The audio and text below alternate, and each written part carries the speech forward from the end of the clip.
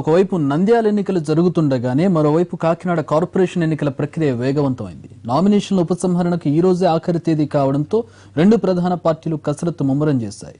TDP ముప్పై నాలుగు డివిజన్లకు అభ్యర్థులను ప్రకటించగా మిగిలిన ఐదు డివిజన్లకు అభ్యర్థులను ప్రకటించాల్సి ఉంది. వైసీపీ ఇప్పటికే నలభై రెండు మంది అభ్యర్థులను ప్రకటించగా మిగిలిన ఆరు డివిజన్లకు అభ్యర్థులను ప్రకటించాల్సి ఉంది. బీజేపీ తొమ్మిది మంది అభ్యర్థులను కాంగ్రెస్ పద్దెనిమిది మంది అభ్యర్థులను ప్రకటించింది. కార్పొరేషన్ ఎన్నికల తాజా పరిస్థితిని మా కాకినాడ ప్రతినిధి శ్రీనివాస్ అందిస్తారు. కాకినాడ నగరపాలక సంస్థ ఎన్నికల నామినేషన్ల ఉపసంహరణ నేడు ఆఖరి రోజు కావడంతో అన్ని పార్టీల్లో కూడా రాజకీయం వేడెక్కింది.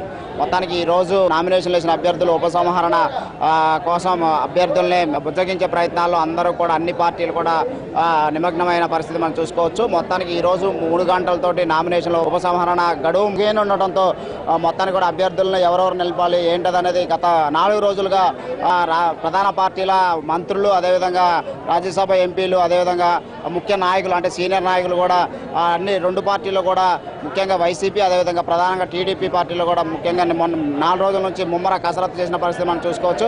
మొత్తం చూసుకుంటే కనుక టీడీపీ ఇప్పటికే ముప్పై నాలుగు స్థానాల్లో అభ్యర్థుల్ని రెండు రోజుల క్రితం ప్రకటించింది. వైసీపీ మాత్రం నిన్న రాత్రి అభ్యర్థులు ప్రకటించింది. మిగిలిన నాలుగు స్థానాలు కూడా ఇంకా ప్రకటించ ప్రకటించవలసిన పరిస్థితి ఉంది. మొత్తానికి ఈరోజు పార్టీ ఎవరికి బీ ఫార్మ్ ఇస్తుంది అనే ఉత్కంఠ కూడా నెలకొని ఉంది. మొత్తానికైతే ఈ రోజు కొంతమంది అంటే నిన్న ప్రకటించిన అభ్యర్థులకి మొత్తానికి కూడా ఈరోజు బీ బీ ఫారంలో ఇస్తున్న పరిస్థితి మనం చూసుకోవచ్చు. మొత్తానికి ఈ నెల ఇరవై తొమ్మిదిన నగరపాలక సంస్థ ఎన్నికలు జరగనున్నాయి. అదేవిధంగా ఒకటో తారీఖు రిజల్ట్స్ ప్రకటిస్తున్నారు. మొత్తానికి అంటే ఇంకో ట్విస్ట్ కూడా ఇక్కడ నెలకొన్న ఉప జిల్లాలో లాస్ట్ రోజు వరకు అభ్యర్థులను ప్రకటించకుండా దాచిన పరిస్థితి మనం గమనించుకోవచ్చు. మొత్తానికి చూసుకుంటే మనం ఫారం అంటే కొంతమంది అభ్యర్థులకి ఫారం ఇచ్చిన పరిస్థితిని కూడా చూసుకోవచ్చు. మొత్తానికి పార్టీ అభ్యర్థుల నుంచి కూడా బీఫామ్ తీసుకొని నామినేషన్లు అంటే పోటీ పడడానికి సిద్ధంగా ఉన్నారు. మొత్తానికి కూడా రెండు పార్టీలు కూడా తీవ్ర అంటే బలబలాలను నిరూపించుకునే స్థాయిలో ఉన్నాయి అంటే తూర్పుగోదావరి జిల్లా అంటే ఒకవైపు నంద్యాల ఎన్నికల వేడి ముగియ ముందే కాకినాడ మేయర్ అంటే కాకినాడ ఎన్నికలు కూడా స్టార్ట్ అయిన నేపథ్యం మనం చూసుకోవచ్చు. మొత్తానికి తూర్పుగోదావరి జిల్లా అంటే రాష్ట్రంలోనే తూర్పుగోదావరి జిల్లా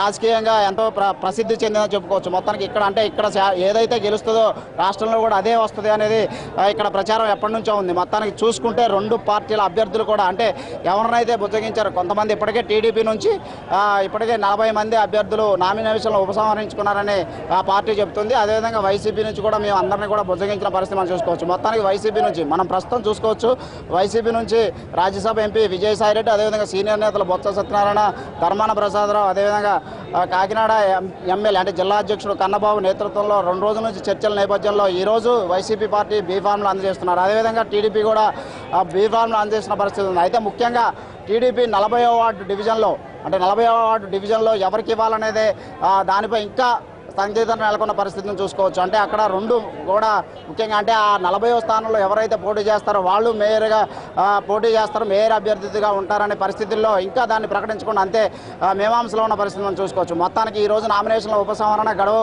ముగిటేంతో రేపటి నుంచి కూడా ప్రచారం తీవ్ర స్థాయిలో ఉండబోతుందని చెప్పుకోవచ్చు. ఇది ఇక్కడ కాకినాడ నగరపాలక సంస్థ ఎన్నికల్లోనే తాజా పరిస్థితి. కెమెరా పర్సన్ ప్రకాష్తో శ్రీనివాస్ ఎన్టీవీ కాకినాడ.